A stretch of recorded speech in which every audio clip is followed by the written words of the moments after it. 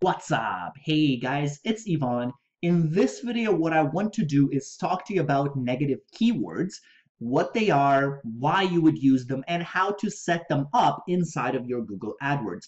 Now, you can use negative keywords on any pay-per-click uh, advertising platforms such as Bing Ads, Yahoo Ads, or Google AdWords, but I'm not going to do a separate video for Bing Ads and Yahoo Ads because it's the exact same thing and you access them the exact same way as you would via Google AdWords. So as long as you know what they are and how to do them, you should be able to do them across any other platforms. So let's get right into it. So here I have my fake campaign I've just made up just for the purpose of illustrations. You know, Sears.com, I paused it because obviously I don't want to run it. Uh, we don't really need the ad, so, so disregard what it says here. That's not the point. But we are going to focus on keywords. And particularly over here, as you can see, there's an option for keywords and negative keywords and search terms. So what are negative keywords? Negative keywords are the opposite of keywords. So keywords are when someone types in the keyword that you put in, in this case, for example, Sears online shopping, my ad will show up. That's keywords. Negative keywords are the opposite. If I were to put this term as a negative keyword and someone typed that in to the Google search bar, my ad would not show up. So you may be thinking, what's the point of this? Why would I not want my ad to show up? This doesn't make sense. Well, the reason is if you have a phrase or broad match type on your keyword list, it's highly likely that you're going to get very, very unrelated search terms. So in this case, Sears online shopping is a broad match. Now let's just, for simplicity, let's say I'm going to put it to phrase match just to make things easier. So Sears online shopping, if someone types that in, or those, or, or as long as those words are in the search term, my ad will show up. So question to you now is, is the search term Sears online shopping video game relevant to what I'm selling? For this particular ad, no, it's not. My ad is redirecting people to the Sears site where it sells all the furniture and all that stuff. And if people type in, um, it, it, it's down here somewhere, uh, Sears online shopping video game, that's completely irrelevant we don't want to pay for those irrelevant clicks. So what do we do? We put in the negative keyword. And the negative keyword we put in is video games because we don't want people who type in our keyword plus video games to show up. Now, this doesn't really apply if you have exact keywords because as long as that exact keyword shows up, only then your ad will show up. There's no room for any variation, but this does really strongly apply to phrase or broad match types because as I said, you will get completely, completely irrelevant clicks. So over here, you may be thinking, how do I find out what people typed in? Well, the way you would do that is you would go into your dimensions tab and click on view search terms. So over here you have all these options. Click on view search terms. Now this ad, of course, didn't run. I didn't want it to run. I'm not advertising Sears. So what for you on your end, what this would look like is you would have a list of search terms over here that people put in exactly as they typed it in Google. So over here, you would have the match type, say uh, phrase or broad, and over here you would see uh, the related um, phrase or broad match type that you have as part of your keywords. So if your keyword is whatever we had here, what, what did we say? Sears online shopping, it would say over here, Sears online shopping, but the search term that people typed in was Sears online shopping video game. That's what it would say. And this is how you would figure out what people are typing in to get to your ad. So every once in a while, take a look at this tab and, and see, are these clicks relevant? If they're not, we need to add negative keywords because we don't want to pay for those irrelevant clicks. And the way we would add the negative keywords are by going to this keyword tab and clicking on the negative keywords tab here and adding the keywords either add just for the ad group or for the entire campaign.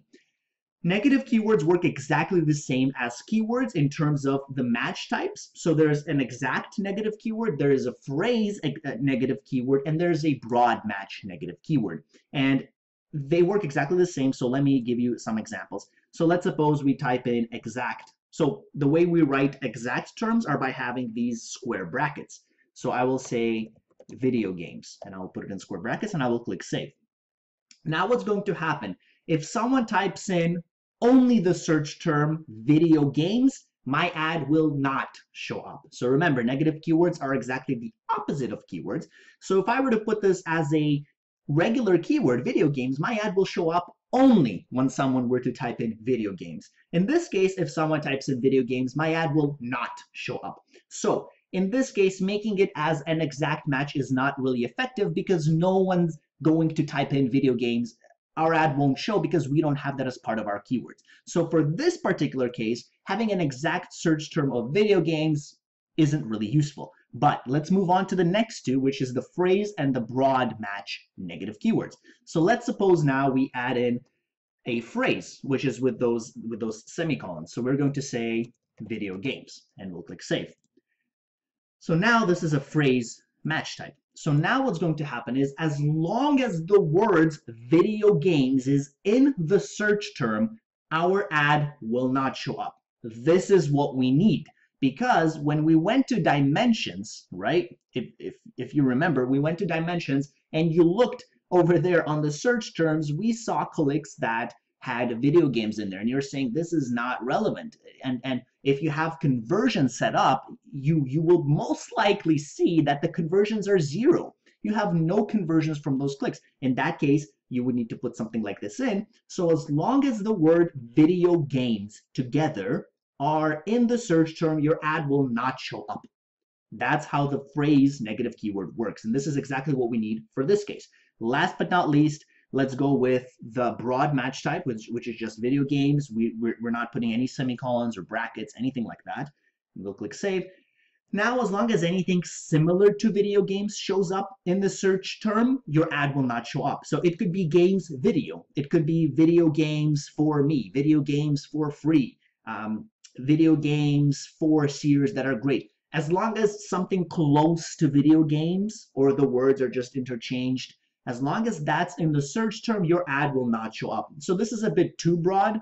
I, in this case, I may use it because video games is 100% irrelevant to what Sears is selling, but sometimes you may not want to use broad because it may hit on actual relevant clicks. So you may lose out on some relevant clicks because it's just so broad. It may use synonyms uh, and, and it may um, it, it may go to related terms. So I would like to stick with phrase phrase type. Okay. So that's about it for the negative keywords. Just um, some some additional information for dimensions the best way to determine whether clicks are relevant or not is via conversions. So if you do have the conversion set up, as I've done in my previous videos, I'll put a link up above, you should be able to determine the keywords that are very weak because they have no conversions. And those are the ones, you know, those are the words that you should put as negative keywords.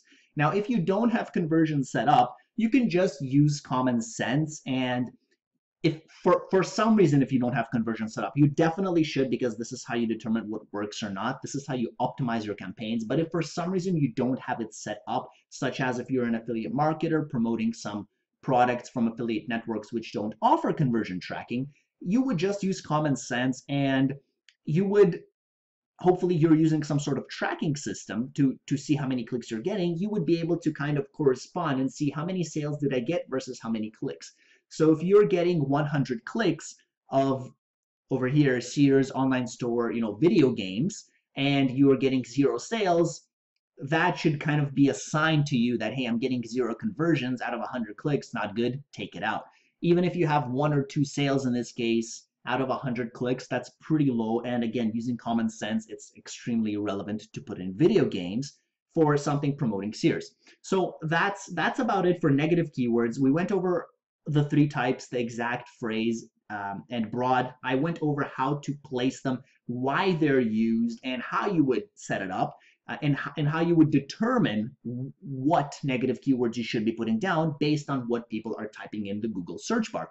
I hope this was helpful for you. If you guys have any questions, comments, concerns, feel free to leave them down below. I try to be as responsive as I can on the YouTube channel and the Facebook group. I usually try to respond within 6 to 12 hours, so pretty quickly. Um, and thank you for watching. If you enjoyed the video, give it a thumbs up and subscribe. I cover a lot of different online marketing tools, tips, tricks, reviews, how-tos, etc., etc.